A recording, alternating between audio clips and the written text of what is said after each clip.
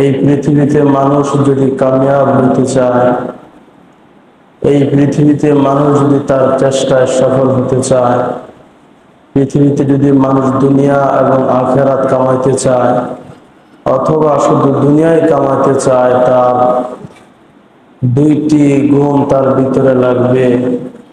একটা হলো আল্লাহ বলেন, তোমার ভিতরে সবুর নামক গুণ তোমার ভিতরে লাগবে।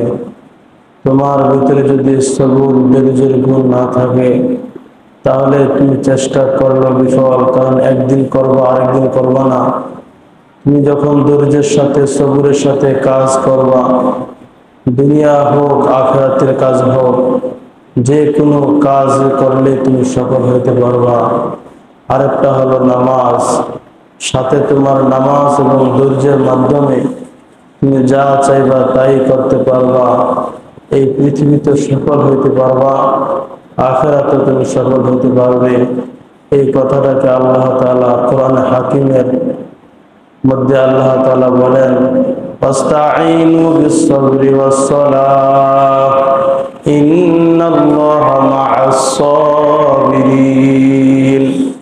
আল্লাহ বলেন, তুমি যদি কিছু অর্জন করতে চাও, পাইতে চাও তাহলে আমি মালিকের দরবারে দুইটা গুণ অর্জন করো।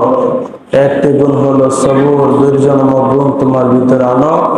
আরেকটা হলো নামাজ। এই দুই জিনিসের মাধ্যমে আমি আল্লাহ তালার কাছে যা চাইবা, আমি আল্লাহ তালা তাই তোমাকে দিব।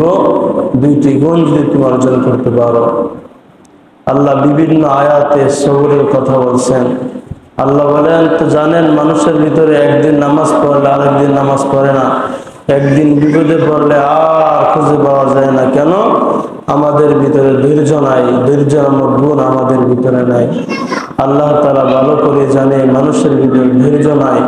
মানুষ যখন ধৈর্যশীল হবে, মানুষ যখন ধৈর্যের গুণ অর্জন করবে আল্লাহ বলেন, তোমাদের জন্য আমি মহা পুরস্কার রাখলাম। একটা পুরস্কার হলো, তোমরা যখন ধৈর্য ধারণ করবা এবং নামাজের মাধ্যমে এবং ধৈর্যের মাধ্যমে আমি আল্লাহর কাছে চাইবা, আমি আল্লাহ তাআলা এই ধৈর্যশীল এবং নামাজি ব্যক্তির সাথেই আছি। আল্লাহ আমাদের সাথে হয়ে যাবেন আমাদের কোনো ভয় নাই। আল্লাহ তালা অন্য সৌরাতুর সোরা তেতাল্লিশ নম্বর আয়াতে আল্লাহ বলেন আল্লাহ বলেন, যে ধৈর্য ধারণ করবে এবং মানুষকে ক্ষমা করবে।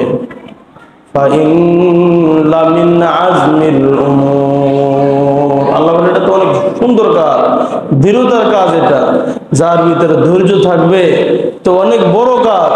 যার ভিতরে ধৈর্য আছে, সে তো অনেক গুণ হাসিল করে ফেলছে এবং মানুষকে ক্ষমা করে তাহলে বোঝা গেল, এই ধৈর্য অনেক বড় একটা বিষয়। মানুষকে আল্লাহ তালা বিভিন্ন সময় এই ধৈর্য না থাকার কারণে আমরা বিফল হয়ে যাই।